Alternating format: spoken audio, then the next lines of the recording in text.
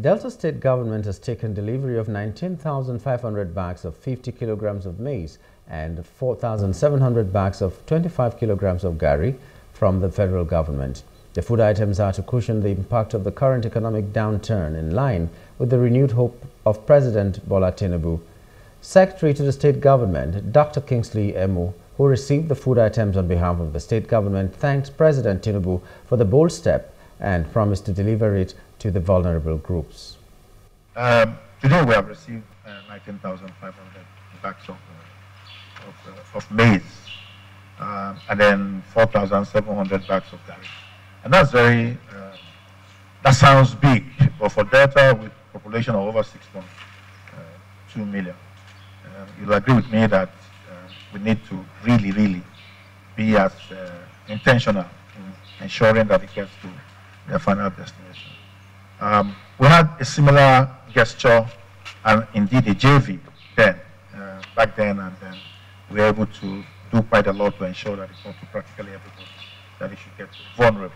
This time we have had 20% uh, of what you're doing goes to what you're providing goes to camp. 3% um, goes to schools, uh, private boarding schools. Uh, as a state, we have also sat back to see what we can do about it.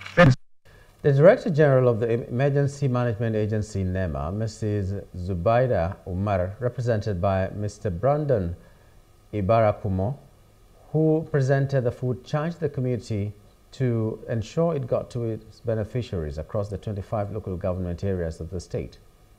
Mr. President approved the release of 42,000 metric tons of assorted food commodities from the National Strate Strategic Reserve under the custody of the Federal Ministry of Agriculture and Food Security.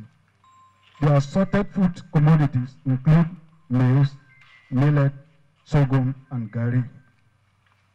Distinguished stakeholders, after sharing the commodities and successfully transporting the quantities allocated to Delta State, today we are here to hand over the food items to the state government for distribution to the identified deserving beneficiaries in the communities through the constituted committees in each local government area.